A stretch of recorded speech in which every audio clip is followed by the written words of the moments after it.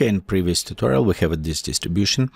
Um, one thing to keep in mind, this is distribution can easily apply uh, for the ecosystem. For example, if I want to have just plants in specific area or um, based on altitude of the terrain, not necessary other ones, I can apply this as well uh, on that. And the best parts about this, because you see we have at zero edges, so it's meaning right in this area. Okay, let me expand just a little bit bigger our preview. Even this point is higher than this edge, but because it's happening before zero edge applied, we have a nice distribution can go on those edges as well. So it's kind of very useful to do this way. Okay, let's go inside our terrain. And the same, we'll go to right here, take a little bit down. Okay, smooth on the bottom. So just right in this area, just smooth up. Maybe you know a little bit more. So we have a smoother integration just on the edges slightly.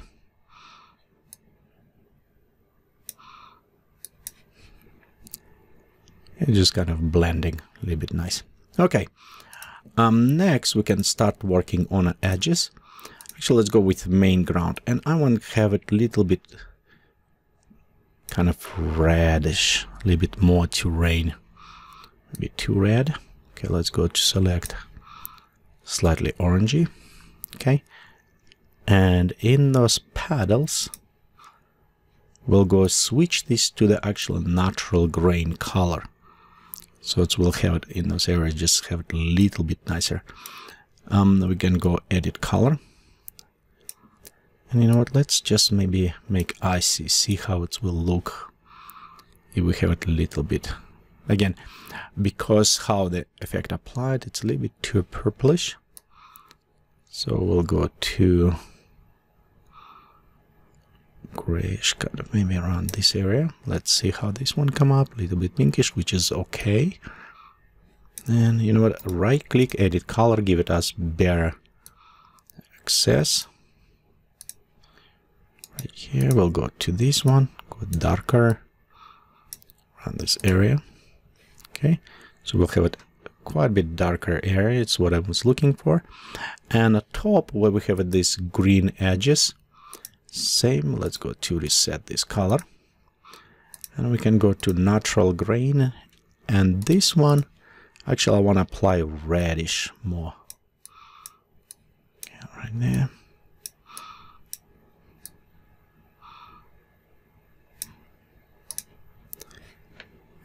kind of those top hills will give it.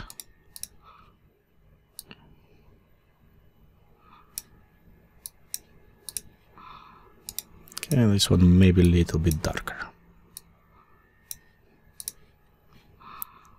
Okay so we have it kind of adjust maybe a little bit even more. It's too settle.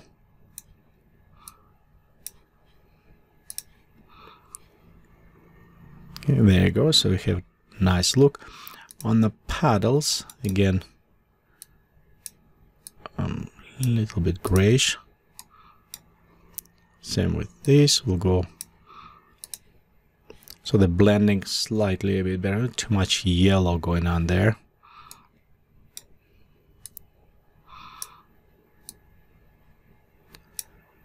Okay, let's go see how this one should come up. Yeah, the nice contrast is what I'm looking for. Okay, when we're done with this, let's go click OK at this point. And we'll take our camera, going to come closer to our terrain. At this point, I'm going to bring a little bit up. You know what? Let's do this. Let's go take this terrain and shrink slightly, squish from the top. So we have this kind of beautiful, interesting paddles going around. And with our camera, we can kind of preview, but it's not total paddles, it's maybe even craters. Okay, and down there. And preview maybe around this area. Okay.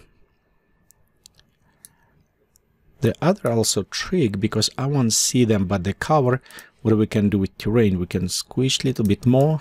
And most interesting, what we can do, we can actually tilt it so let's go tilt just slightly up.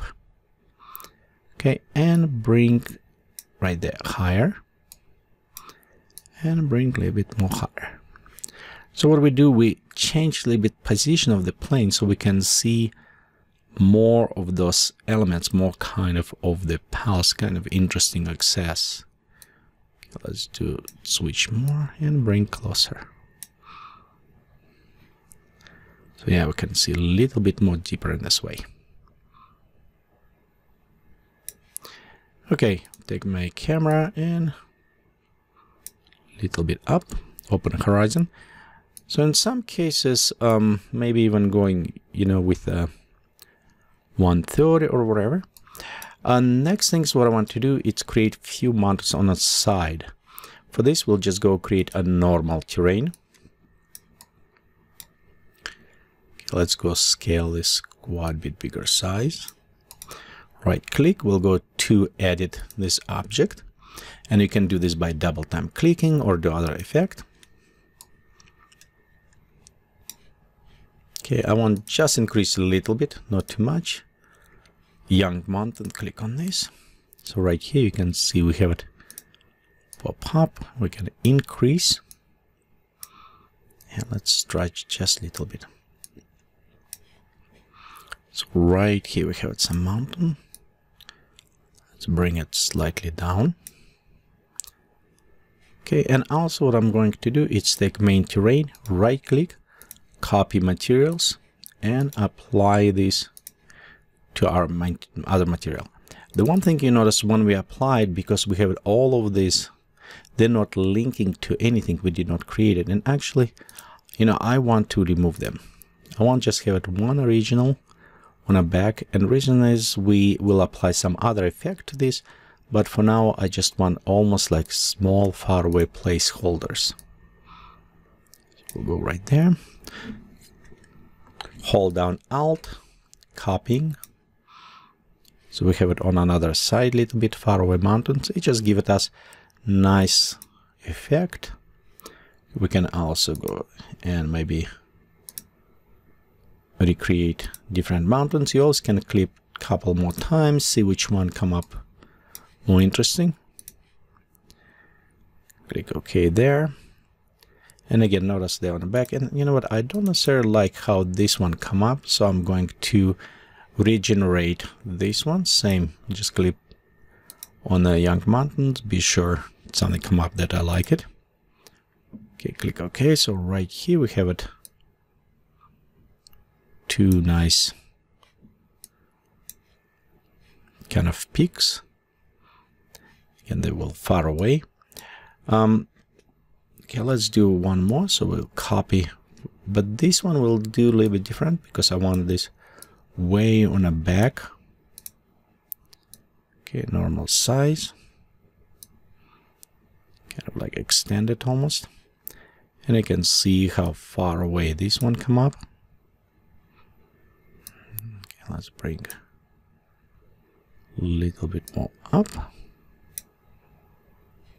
Right there we have a nice effect. Okay let's copy.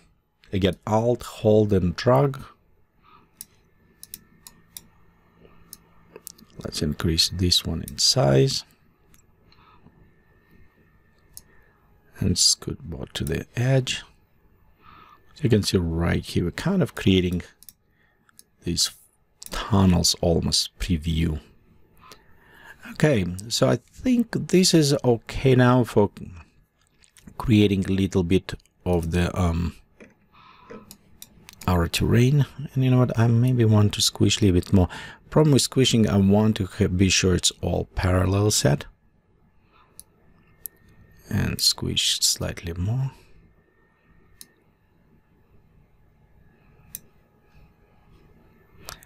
So we kind of can preview now. There you go. Yeah, this way a little bit better looking. Okay. So let's do in the next portion we will create some model or some effect, but I think overall it is looking okay now. Okay, right there, just just so they level a little bit better. We maybe play a little bit better with shapes afterwards, But right now we have our main terrain and something on far away. So I think it's good step at this.